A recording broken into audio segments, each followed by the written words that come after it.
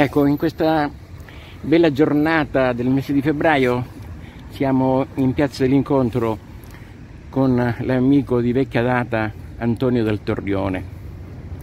Io ti ringrazio innanzitutto per aver accettato questo mio invito a narrarci qualcosa sulla storica villa d'Urso che sorgeva appunto in via Serino Pugliese alla stazione.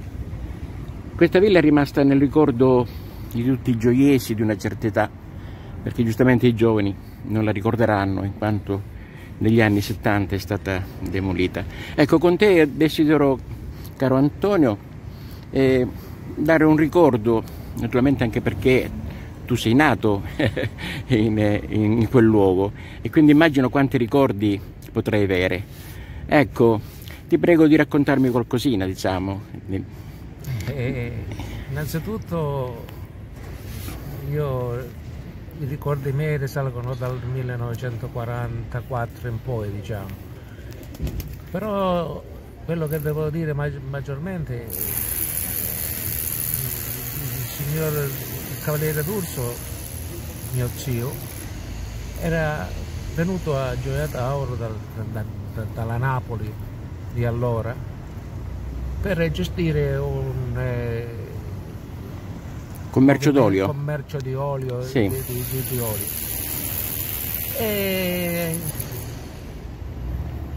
nella parte sinistra del, de, de, della villa vi erano infatti dei magazzini di olio che sì. uscivano sulla via Torino. Sì. Anche perché erano vicini, vicini, alla stazione. Anche perché erano vicini alla stazione, anche perché c'era un cancello che dava direttamente alla stazione dove potevano caricare tutte le cose tutti, ogni cosa. E loro allora abitavano nel, nel, nel villino, che c'era un villino? No, inizialmente, no. Quando, dai miei ricordi, quello che ricordo è che abitavano nel palazzo. Sì. Che allora, perché altri, le altre case al di fuori del, dello chalet che già sì. esisteva sì. non, non c'erano perché in quella zona là erano dei, tutti i magazzini che gestivano queste, questi prodotti lui comunque quello che posso dire è che era una persona squisita una persona generosa infatti lui aveva accolto in casa tutta una famiglia dei, dei tripodi che poi è De, De Cagliostro che poi era quella di mia, di mia, madre perché mia nonna era sposata con un Cagliostro che era rimasta vedova e quindi l'aveva accolti tutti quanti in casa sua e li ha gestiti tutti come dei figli e a noi come dei nipoti d'altra parte. Lui era affascinato dal,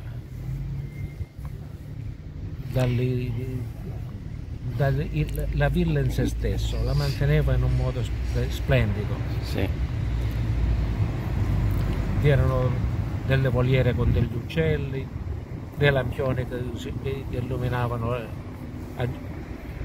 la, la, la sera tutte le aiole ed era appassionato, lui col passare del tempo si era affezionato a tutto e a tutti, però non voleva che gli si toccasse neanche un, un ramo di, di, sì. di, di, quello che esisteva sì. nelle aiole, perché si sì. arrabbiava in modo tremendo.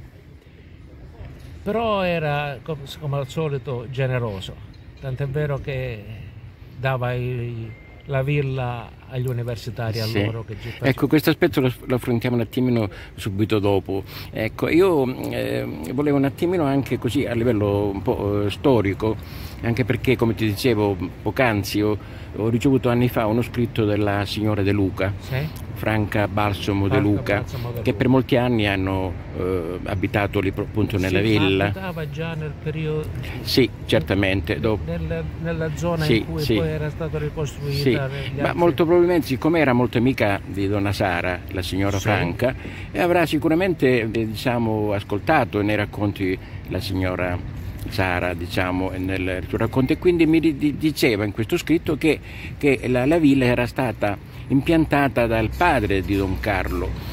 Quindi molto probabilmente quella villa lì è, diciamo, è di, di fine 800, insomma, sarà sì, 1850, meno, 1860. quando lui è arrivato qua eh, ha costruito lui la villa, la villa era già, era già appunto, appunto, con quindi, secolari, già eh, nel certo. 44, quando me la ricordo io, gli alberi erano quelli secolari. I secolari, quindi sì, sì. Quindi gli alberi sì. di ogni tipo, di ogni genere.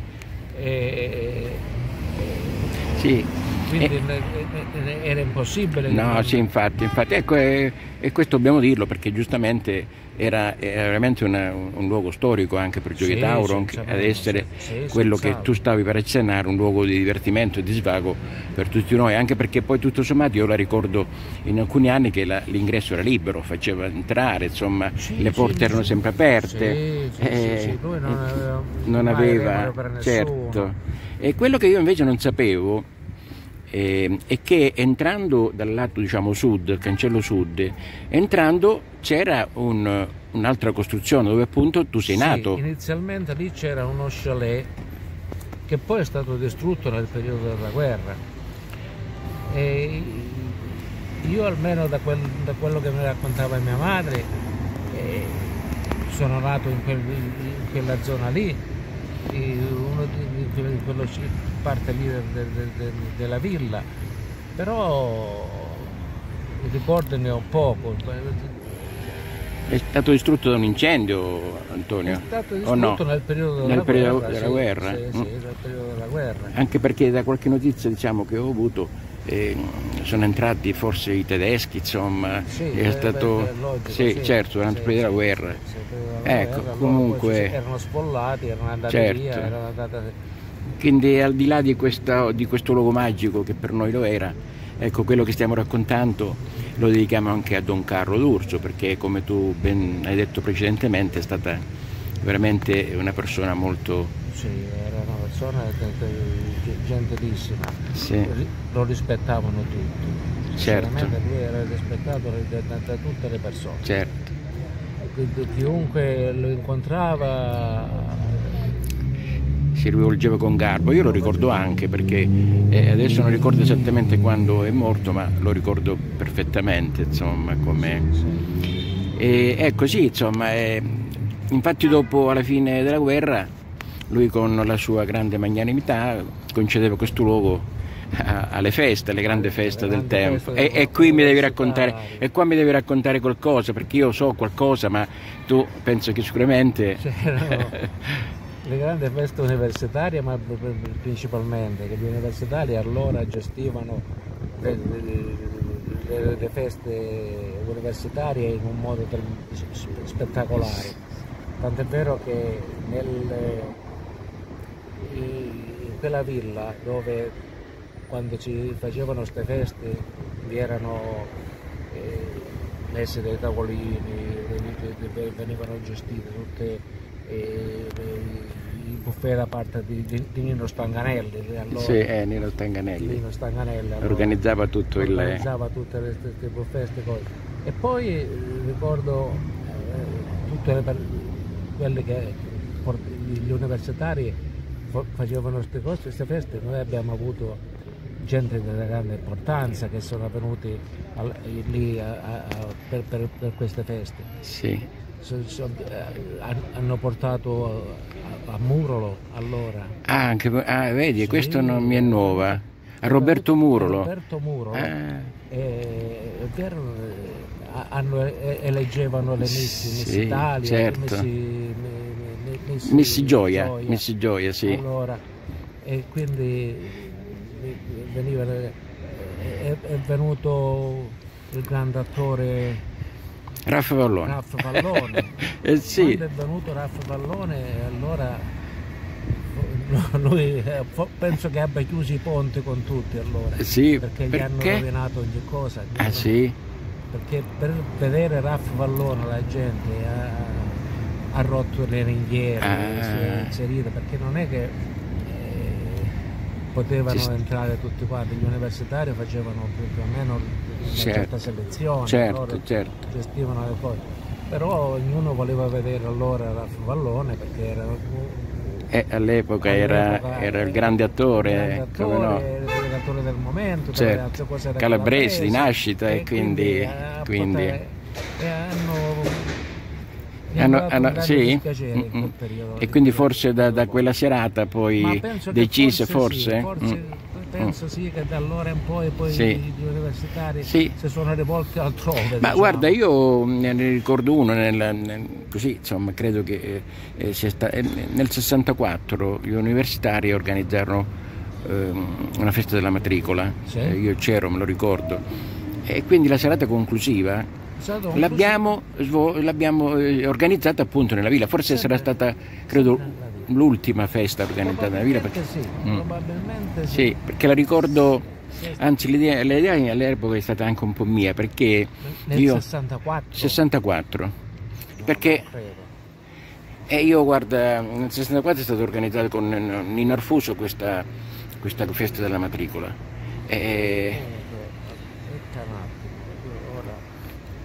Vabbè, comunque sarà, non sarà stata 60, ma 64 poteva esserci, guarda, io la, la, la ricordo perfettamente, insomma, questa serata.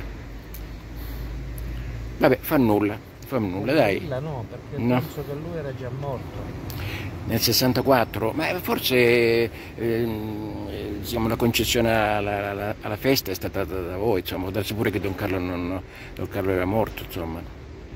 Vabbè, non, non, è un problema, dai, l'importante è che in questo momento noi ricor- non te lo ricordi. Eh, io credo di non sbagliarmi perché eh, ho partecipato a questa festa e quindi forse era l'unico luogo, mm, sì, anche perché la ricordo. Vabbè, comunque, insomma, l'importante è che era un luogo di grande socializzazione, anche perché eh, all'epoca non c'erano molti locali dove poter, poter diciamo, ecco, accogliere. diciamo... Non c'erano grandi locali, infatti. Certo qualcuno che me ne ricordo io, qualcuno che hanno fatto lì nei, nei locali della, della Superfiltrante, sì, qualche festa sì, però... universitaria, oppure qua sotto eh, dove c'era la sala di, di, Cardone. Eh sì, c'era di Cardone qua in Piazza Matteo. Più o meno certo, qua, certo. Però, ecco, eh, ecco eh, un altro ricordo che non abbiamo e che io diciamo ho sempre visto e c'era era dello chalet.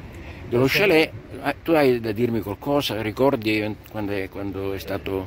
Lo chalet quando è stato costruito no. Non te lo ricordi, non lo certo. perché l'ho trovato già fatto. Sì. Però per sentito dire, sapevo, sentivo dire che lo chalet quando è stato costruito sono arrivati i due modelli, sia questo della Villa D'Urso, sì. sia quello di Galeso. Eh sì, questo sono, sono a corrente. Arrivati, insieme sì. e sono stati gli anni di preciso sì. non... comunque guarda io ho un documento fotografico storico del villino di Galeso sì. dove si vede appunto sulla via Regina Margherita sì.